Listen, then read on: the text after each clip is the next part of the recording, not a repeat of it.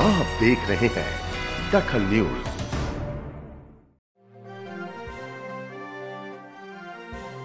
दीक्षित का चुनाव लड़ने से इनकार? मायावती का भी ऐलान, लोकसभा चुनाव नहीं लड़ेंगी।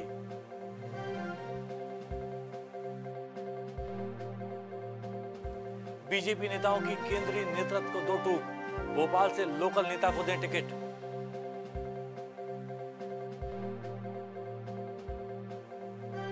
मध्य प्रदेश के तत्कालीन मंत्री लिखीराम कावरे की हत्या में शामिल महिला नक्सली, जमुना एनकाउंटर में ढेर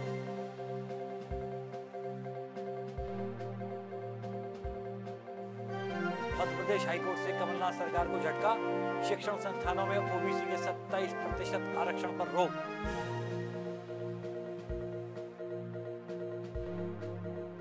और प्रधानमंत्री नरेंद्र मोदी के जीवन पर बन रही फ़िल्म की चर्चा। फ़िल्म 5 अप्रैल को होगी रिलीज़।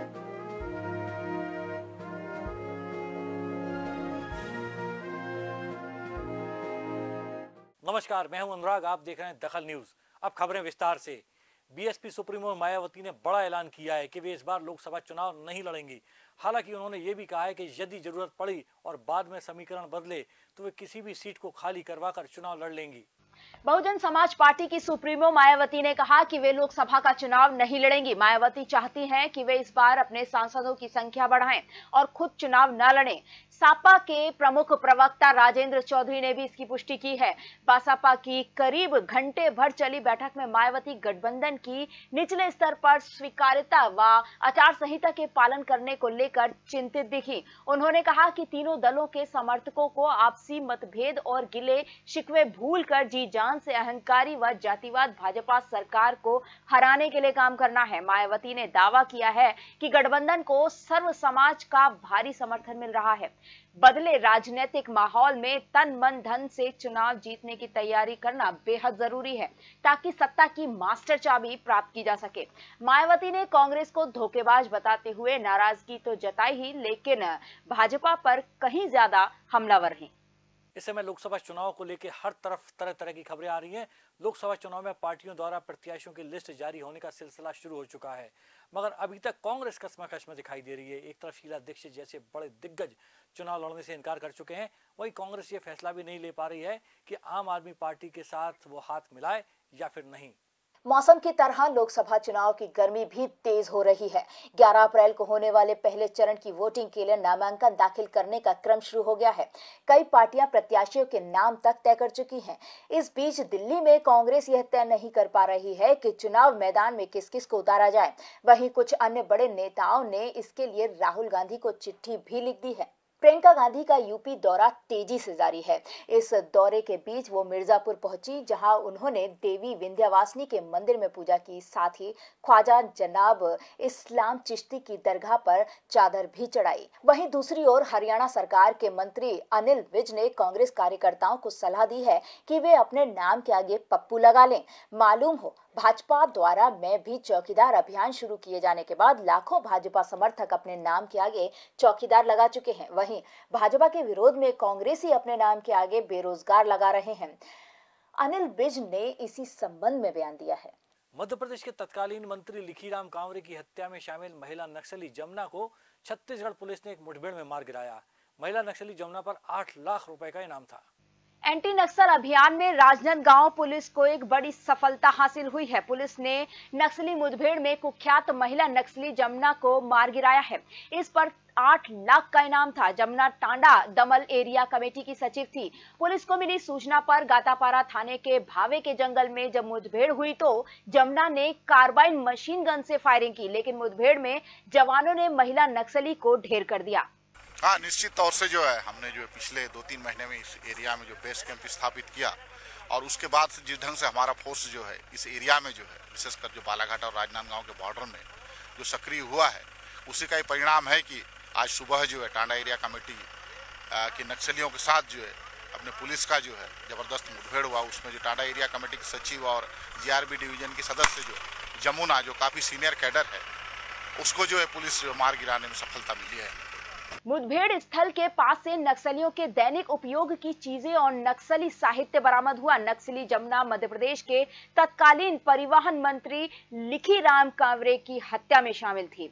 उन्नीस सौ अट्ठानवे में नक्सलियों के किरनापुर में घर के बाहर लिखी राम कावरे की हत्या कर दी थी जमुना। उन्नीस सौ चौरानवे में नक्सल संगठन में शामिल हुई और जमुना का मध्य प्रदेश और छत्तीसगढ़ की सीमा में आतंक था। मध्य प्रदेश हाईकोर्ट ने शिक्षण संस्थानों में ओबीसी के 27 फ़ीसदी आरक्षण पर रोक लगा दी है। हाईकोर्ट ने इस मामले में राज्य सरकार और डीएमई को भी नोटिस जारी किया है। अदालत के इस निर्देश से कमलनाथ सरकार को बड़ा झटका लगा है। जस्टिस आर एस झा व संजय द्विवेदी की खंडपीठ ने अपने आदेश में कहा कि 25 मार्च से होने वाली एमबीबीएस की काउंसलिंग ओबीसी के 14 प्रतिशत आरक्षण के आधार पर की जाएगी। जबलपुर निवासी असिता दुबे, भोपाल निवासी रिचा पांडे और सुमन सिंह की ओर से दायर याचिका में कहा गया कि संविधान के अनुच्छेद 16 में प्रावधान है कि एस सी एस ओबीसी को मिलाकर आरक्षण पचास प्रतिशत से ज़्यादा नहीं होना चाहिए। वर्तमान में एससी को सोलह प्रतिशत एस को बीस और ओबीसी को चौदह प्रतिशत आरक्षण मिल रहा है। मध्य प्रदेश सरकार ने 8 मार्च को अध्यादेश जारी कर ओबीसी का आरक्षण 14 प्रतिशत से बढ़ाकर 27 कर दिया है, जो कि असंवैधानिक है। हाईकोर्ट ने इस मामले में राज्य सरकार और डीएमई को भी नोटिस जारी किया है। कांग्रेस के ओबीसी नेता लोकसभा चुनाव में अपने प्रदेश सरकार के ओबीसी आरक्षण के मुद्दे को जनता के बीच ले जाने की तैयारी कर रहे हैं।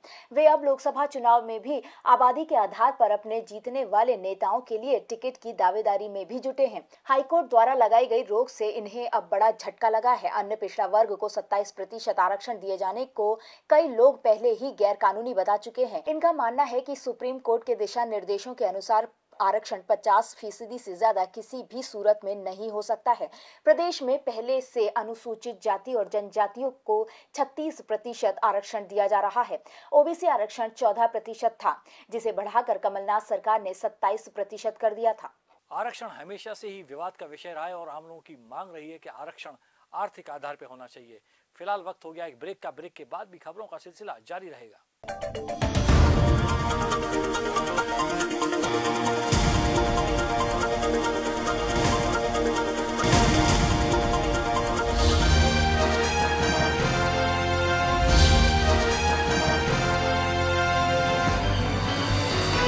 आप देख रहे हैं दखल news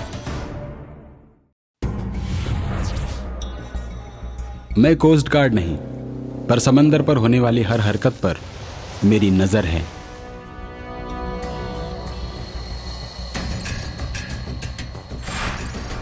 I am not a sniper पर देश के दुश्मनों को बेझिझक शूट कर सकती हूँ। मैं कोई पुलिस या आर्मी ऑफिसर नहीं। पर अगर मुझे किसी पर शक आए तो उसकी पूछताछ मैं अच्छी तरह से कर सकता हूँ।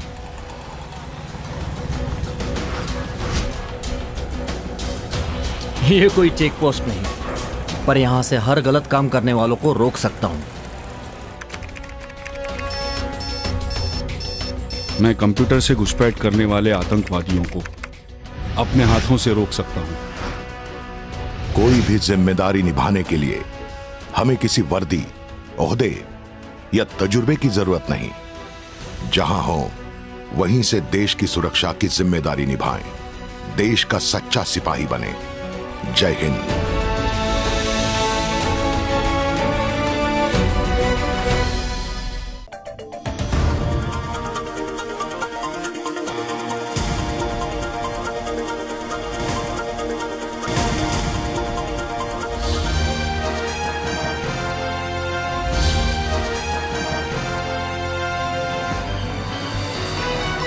देख रहे हैं दखल न्यूज़।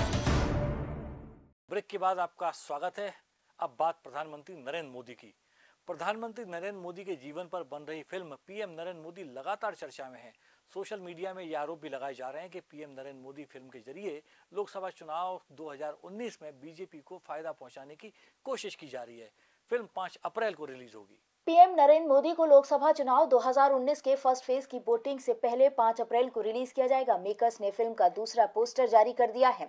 विवेक ओबराय नरेंद्र मोदी की भूमिका निभा रहे हैं। लोकसभा के चुनाव मौसम में रिलीज़ हो रही पीएम नरेंद्र मोदी की बायोपिक के दूसरे पोस्टर में संदेश दिया गया है की देशभक्ति ही मेरी शक्ति है। 18 मार्च को पीएम नरेंद्र मोदी में विवेक ओबराय के नौ लुक जारी किए गए हैं। पीएम नरेंद्र मोदी बायोपिक में फ़िल्म की कहानी नरेंद्र मोदी के संघर्ष और पीएम बनने तक के सफ़र को दिखाया जाएगा। फ़िल्म में मनोज जोशी भाजपा अध्यक्ष अमित शाह की भूमिका में नज़र आएँगे। वोमन ईरानी प्रसिद्ध बिजनेसमैन रतन टाटा का रोल प्ले कर रहे हैं। इसके अलावा फ़िल्म में दर्शन कुमार, प्रशांत नारायण, जरीना बहाव, बरखा विष्ट, सेन गुप्ता, अंजन श्रीवास्तव, यतीन कार्यकर राजेंद्र गुप्ता और अक्षत आर सलूजा जैसे सितारे भी नज़र आएँगे। अस्पताल से बच्चा चोरी होने की खबर ने सबको सकते में ला दिया है। एल्गिन अस्पताल से एक नवजात बच्चे की चोरी का मामला सामने आया है। सुलोचना नाम की महिला ने एक बेटे को जन्म दिया था। बच्चा चोर इतना शातिर था कि तीन घंटे के भीतर ही परिवार और अस्पताल की आँख में धूल झोंक कर उसने बच्चे को चुरा लिया। हालाँकि इस मामले का खुलासा हुआ और बच्चा मिल गया है। आपको बता दें कि बच्चा चुराने वाली कोई और नहीं, एक महिला है जिसने पीली साड़ी पहन रखी थी। उसकी उम्र लगभग 30 साल की है। ये महिला इतनी शातिर थी कि बच्चे की माँ के पास बैठकर दोस्ती की, कहा वो अस्पताल में अपने परिचित मरीज़ को देखने आई है। उसके भरोसे बच्चे की माँ बेड से उठकर बाहर गई। साथ में पड़ोस की महिला भी कुछ मिनट के लिए शॉल लेने बाहर निकली। इन्हीं चंद मिनटों में पीली साड़ी वाली महिला बच्चे को लेकर चंपत हो गई। सर मेरा बच्चा चोरी हो गया। दो के बाद हुआ है। आज ही उसको भर्ती किया था आठ बजे करीब। साढ़े ग्यारह बजे करीब डिलीवरी हुई। यह हादसा जबलपुर के लेडी एल्गिन अस्पताल में हुआ, जिससे पूरे अस्पताल में अफरा तफरी मच गई। दरअसल, आज दोपहर दो बजे के लगभग कटिया थाना में रहने वाली सुलोचना ने अपने सुबह अस्पताल में एक बेटे को जन्म दिया। वार्ड नंबर दो में बेड नंबर एक पर माँ और नवजात को रखा गया। इसी बेड से महिला ने बच्चा चुरा लिया। जब तक सुलोचना और अन्य मरीज़ चिल्लाते महिला बच्चा लेकर फरार हो गई, जो नवजात को लेकर तेज़ी से पुल नंबर एक की तरफ़ निकली। लेकिन यह चोर कामयाब नहीं हो पाए और पुलिस की मुस्तैदी से नवजात बच्चा फिर अपनी माँ की गोद में पहुँच गया। पुलिस ने आरोपी महिला को भी पकड़ लिया है। नवजात को अगवा करने में महिला की मदद एल्गिन अस्पताल की सफ़ाई कर्मचारी प्रभा ने की थी। प्रभा एल्गिन अस्पताल परिसर में स्थित क्वार्टर में रहती है। पुलिस ने उसे भी हिरासत में ले लिया है। लगभग ये दो बजे की बात है। पुलिस को सूचना प्राप्त हुई है कि एल्गिन हॉस्पिटल में, वार्ड नंबर दो में सुलोचना डहरिया नाम की महिला थी, जो आज डिलीवरी के लिए भर्ती हुई थी। उसकी डिलीवरी साढ़े बजे के आसपास हुई है। और दो बजे को एक अज्ञात महिला आई है, जो एक सफ़ेद साड़ी पहनी हुई है। वो उसके बच्चे को उठा के ले गई। वो बाहर घूमने गई तो इसी समय एक घटना घटित हुई। है दरअसल प्रभा की पहले भी अस्पताल में कई शिकायतें हुई हैं। मरीजों से पैसे वसूलने के मामले में शिकायत मिलने के बाद प्रभा को काम से हटा दिया गया था। वहीं बच्चा चुराने वाली आरोपित महिला के तीन बच्चे थे, जिनकी मौत हो चुकी थी। पहले पति की भी मौत होने के बाद उसने दूसरी शादी की, लेकिन कोई औलाद नहीं हुई। ऐसे में अपनी सूनी गोद को भरने के इरादे से महिला ने नवजात को अगवा करने की पूरी साजिश रची, जिसमें उसने अपने घर में किराए पर रह रहे युवक की भी मदद ली। हुई थी। उसके साथ में उसकी रिलेटिव थी और एक और लेडी भी उसके पलंग पे बैठी हुई थी। जब बच्चा चोरी हुआ तो मरीज़ ने बताया कि उसकी साथ वाली लेडी थी, वो चाय लेने गई थी और वो खुद बाहर आ गई थी। और फिर जब वार्ड में वो वापस आई, फिर बच्चा अकेले था, वार्ड में वापस आई तो उसकी बाजू वाली ने बताया कि जो तुम्हारे साथ में दूसरी लेडी बैठी थी पलंग पे, वो बच्चे को लेके चली गई। भारतीय जनता पार्टी के भीतर जमकर राजनीति चल रही है। भोपाल के बीजेपी नेताओं ने केंद्रीय संगठन से साफ़ कहा है कि भोपाल से किसी लोकल व्यक्ति को ही लोकसभा चुनाव के लिए टिकट दिया जाए। इन सभी नेताओं ने पूर्व मुख्यमंत्री बाबूलाल गौर के निवास पर मीटिंग की और अपने फैसले से केंद्रीय नेतृत्व को अवगत करा दिया है। भोपाल के बीजेपी नेताओं ने केंद्रीय नेतृत्व को आगाह कर साफ़ कह दिया है कि भोपाल से स्थानीय व्यक्ति को ही प्रत्याशी बनाया जाए। बीजेपी के वरिष्ठ नेता और पूर्व मुख्यमंत्री बाबूलाल गौर के निवास पर एक मीटिंग हुई। बाबूलाल गौर, उमाशंकर गुप्ता, सांसद आलोक संजर, महापौर आलोक शर्मा सहित बीजेपी के कई दिग्गज शामिल हुए। बीजेपी नेताओं को खबर मिली है कि केंद्रीय नेतृत्व किसी गैर भोपाली की लोकसभा प्रत्याशी बना रहा है। इसके बाद भोपाल के बीजेपी नेता एकजुट हुए हैं। पूर्व मुख्यमंत्री बाबूलाल गौर से जब पूछा गया कि वीडी शर्मा को टिकट दिया जा रहा है तो उन्होंने साफ़ कहा हम नहीं जानते उनको. इसे लोकल कैंडिडेट किया जा रहा है? कैंडिडेट वो तय करेंगे शर्मा जी का नाम नहीं आ रहा है। हम नहीं जानते उनको। मत की रहती कि स्थानीय उम्मीदवार मिलना चाहिए।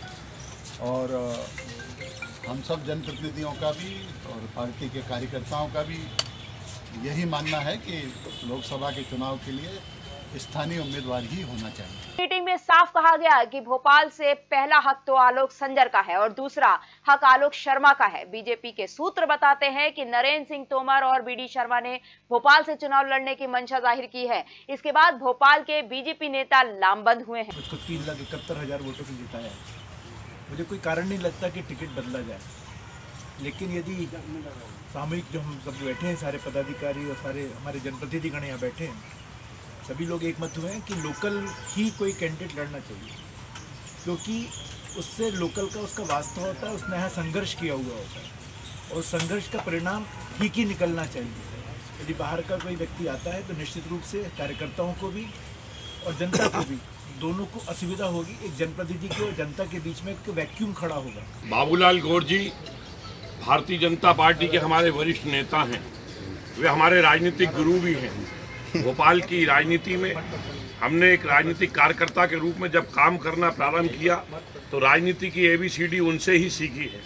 आज लोकसभा के चुनाव होने वाले हैं। उसके अंदर सभी जनप्रतिनिधियों की एक राय है कि भोपाल के ही किसी स्थानीय व्यक्ति को ही टिकट दिया जाए, जो भोपाल की भौगोलिक स्थिति को जानता हो, जिसने भोपाल की सरजमी के ऊपर दिन रात करके संघर्ष किया हो ऐसे ही व्यक्ति को स्थानीय व्यक्ति को उम्मीदवार बनाया जाए। गौर के घर हुई इस मीटिंग के बाद साफ़ हो गया है कि भोपाल सीट को लेकर भाजपा अपनों से घिरती नज़र आ रही है। अब देखना होगा कि इतना विरोध होने के बाद बीजेपी का केंद्रीय नेतृत्व किस बाहरी को या फिर स्थानीय प्रत्याशी पर ही दाव लगाता है। सागर लोकायुक्त पुलिस की टीम ने कार्रवाई करते हुए चार हज़ार की रिश्वत लेते हुए पंचायत सचिव को रंगे हाथों गिरफ़्तार कर लिया है।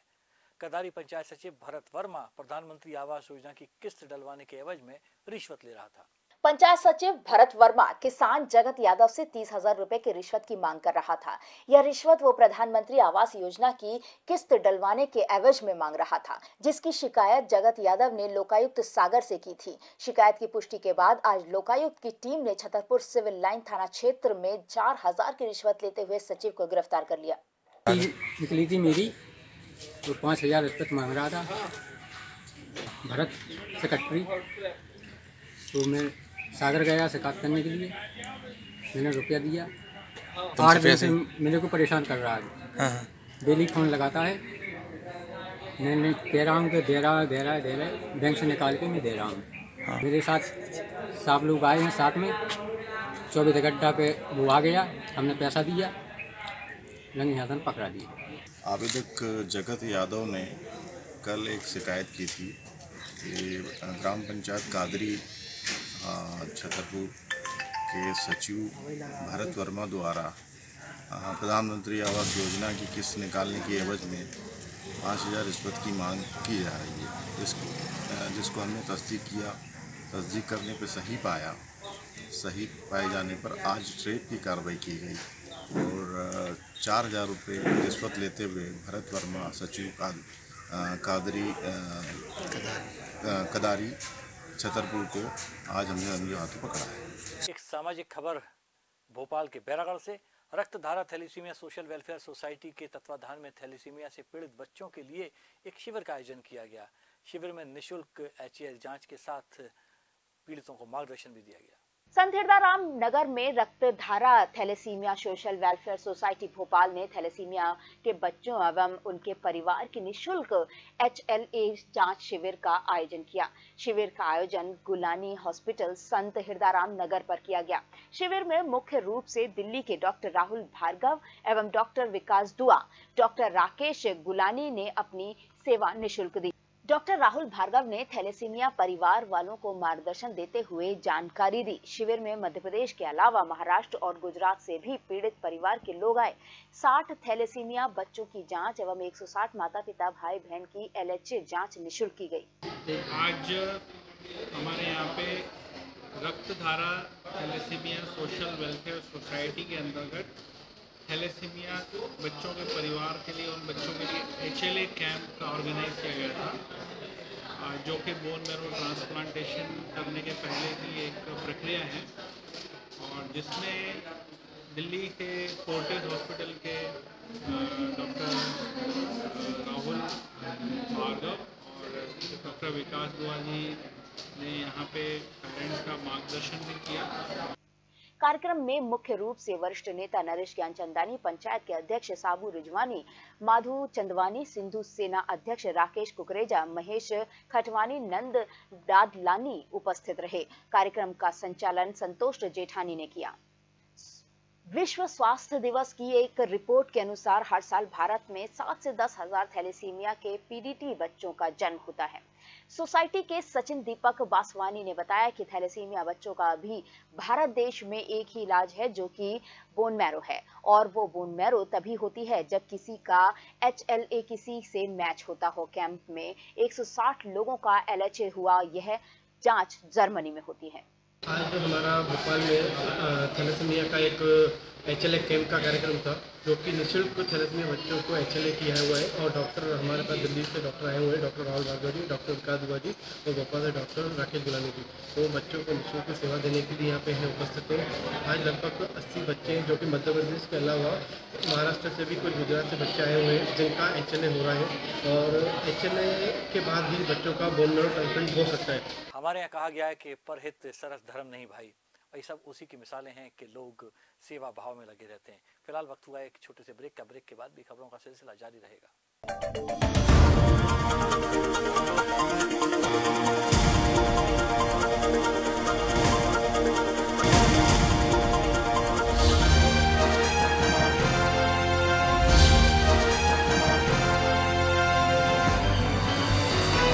आप देख रहे हैं दखल news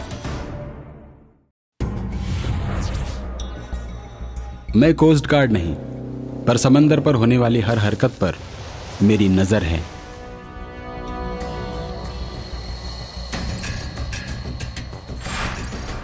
I am not a sniper पर देश के दुश्मनों को बेझिझक शूट कर सकती हूँ।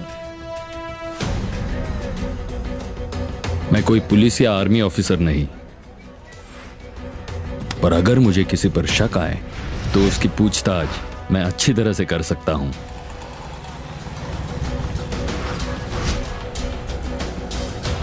ये कोई चेक पोस्ट नहीं पर यहाँ से हर गलत काम करने वालों को रोक सकता हूँ। मैं कंप्यूटर से घुसपैठ करने वाले आतंकवादियों को अपने हाथों से रोक सकता हूँ। कोई भी ज़िम्मेदारी निभाने के लिए हमें किसी वर्दी, ओहदे या तजुर्बे की ज़रूरत नहीं।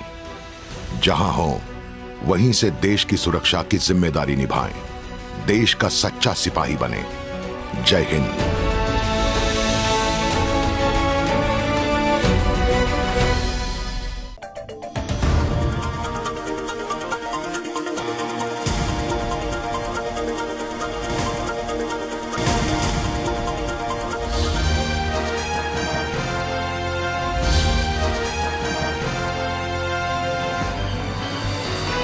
आप देख रहे हैं दखल न्यूज़।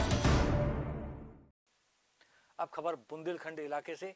शिकारियों के फंदे में फंसे भालू को बमुश्किल रेस्क्यू करके बचाया गया। इस भालू को बचाने में वन अमले को पाँच घंटे तक मशक्कत करना पड़ी। इस भालू को बाद में जंगल में छोड़ दिया गया। छतरपुर ज़िले के राजनगर के ग्राम पहाड़ी बावन में जंगली भालू का रेस्क्यू किया गया। चंद्रनगर पुलिस को खबर मिली कि एक खेत के पास भालू फंदे से फंसा हुआ है। आनंद फानंद में वन विभाग को यह खबर दी गई। पन्ना टाइगर रिज़र्व की स्पेशल रेस्क्यू टीम भालू का रेस्क्यू करने घटनास्थल पर पहुँची और चंद्रनगर पुलिस थाना वन अमले की मौजूदगी में भालू का रेस्क्यू लगभग पाँच घंटे चला। पहले भालू को विशेषज्ञ द्वारा गन से बेहोश किया गया, उसके बाद उसे जाली में बांधकर सुरक्षित तरीके से रेस्क्यू टीम ने पिंजरे में बंद कर दिया। इस भालू को पन्ना नेशनल पार्क में छोड़ दिया गया। आज सुबह लगभग पौने सात बजे ये पता चला कि सूरजपुरा गाँव से लगे हुए खेत में एक नर भालू को फंदे में लगा हुआ पाया गया है। तत्काल पन्ना टाइगर रिज़र्व से स्पेशलिस्ट जो रेस्क्यू टीम है, उसको बुलाया गया। छतरपुर तथा पन्ना टाइगर रिज़र्व के सभी वन अमले ने इसमें पारस्परिक सहयोग से उस भालू को अभी मुक्त करा लिया है और उसे एक सुरक्षित स्थल पर छोड़ने के लिए ले जा रहे हैं। भालू स्वस्थ है, कोई कोई तरह की इंजरी नहीं हुई है। भालू संभवतः बेर खाने के लिए गाँव के समीप आया होगा। गाँव में आजकल खेतों की सुरक्षा के लिए लोग चेलिंग भी लगाते हैं बारवेट वायर भी लगाते हैं। संभवतः वो इन्हीं कारणों से फंसा है। अभी इसकी जाँच चल रही है कि वो पर्पजफुली लगाया गया था या अज्ञानतावश लगे हुए किसी तार के बागड़ में फंसा है।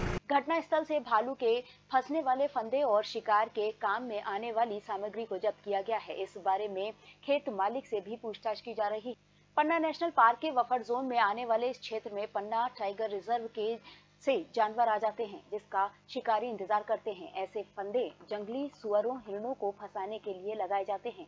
यह फंदा इतना मज़बूत होता है कि एक बार जानवर इसमें फंस जाए तो उसका निकलना मुश्किल ही नहीं, नामुमकिन हो जाता है। मध्य प्रदेश में कमलनाथ सरकार आने के बाद किसानों की मुसीबतें कम होने की बजाय और बढ़ गई हैं। किसानों को जब चार महीने से धान की फ़सल का भुगतान नहीं मिला तो किसानों ने संबंधित दफ्तर में तालाबंदी कर दी। किसान परेशान है। ना अधिकारी उनकी सुन रहे हैं और ना सरकार। रहती तहसील के ग्राम बाया के किसान अपने धान के भुगतान के लिए अधिकारियों से लेकर मंत्री तक को शिकायत कर चुके हैं, लेकिन उनकी सुनने वाला कोई नहीं है। सोसाइटी बैंक ने विगत चार माह में किसानों को धान की फ़सल का भुगतान नहीं किया है। भुगतान न होने से आक्रोशित किसानों ने सेवा सहकारी समिति मर्यादित बाया के दफ्तर में ताला लगा दिया। किसानों का कहना है अगर उनका शीघ्र भुगतान नहीं किया गया तो मजबूरन उन्हें आंदोलन करना पड़ेगा। किसानों का तीन से चार महीने से धान का पेमेंट नहीं आया है। इसके लिए किसान परेशान है आक्रोशित है। सारी जनता जो परेशान है सारे कोई अधिकारी बोलता है आप इसके पास फ़ोन लगाओ कोई अधिकारी बोलता है इसके पास लगाओ। कलेक्टर को लगाओ तो फ़ोन नहीं उठाते हैं। तो ये कैसी अंधी लूली लंगड़ी सरकार है? पैसा नहीं दे रही है जनता का परेशान है किसान। मेरा पाँच लाख अंठानवे हज़ार रुपये पेमेंट है। धान का पैसा तीन महीने से नहीं मिले हम किसान बहुत परेशान हैं। और हम शिकायत करते हैं तो कर्मचारी अधिकारी लोग हमें धमकाते कि तुम्हारे पर कार्रवाई हो जाएगी। विजय वर्गीय बुधनी से बिना बैंक मैनेजर साहब अच्छा। को शिकायत करी तो वो कह रहे हैं कि आप पे कार्रवाई हो जाए किसान को बंद करवा देंगे। आदिवासी समुदाय के लोगों ने भगोरिया पर्व साप्ताहिक हाट के रूप में ढोल धमाके व रंग गुलाल के साथ धूमधाम से मनाया। आदिवासी ढोल और मादल की थाप पर जमकर थिर गए। इसमें बारेला समाज के महिला, पुरुष व बच्चे अपनी पारंपरिक व सामाजिक वेशभूषा में सज धज कर बाज़ार पहुँचे। भगोरिया पर्व बरेला समाज के लोग मनाते हैं। भगोरिया प्रणय उत्सव है और इसकी समय तमाम इलाकों में धूम है। आदिवासी ढोल और मांदल की थाप पर जमकर नाचे। आदिवासी अंचल में भगौरिया पर्व की धूम मची हुई है। पिछले एक सप्ताह से जारी यह पर्व अब अंतिम चरण में पहुँच चुका है। आखिरी दिन में लोगों का उत्साह भी चरम पर दिखाई दे रहा है।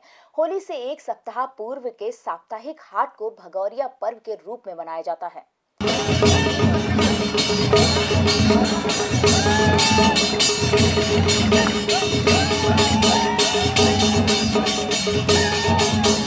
आदिवासी बारेला समाज के लोग अपने अपने घर से पारंपरिक व सामाजिक वेशभूषा धारण कर एक दूसरे को गुलाल लगाते हुए ढोल व मांदल की थाप पर नृत्य करते निकलते हैं। आदिवासियों के लिए यह पर्व बहुत खास होता है। इसमें इन लोगों का उत्साह चरम पर देखा जा सकता है। रेहटी तहसील क्षेत्र के आसपास के लगभग 40 से 50 गाँव के लोग बड़ी संख्या में शामिल हुए हैं। ये थी होली की मस्ती और इस बुलेटिन में फ़िलहाल इतना ही। आपको होली की बहुत बहुत शुभकामनाएँ। आप देखते रहिए दखल न्यूज़। दखल आपके हक में। नमस्कार।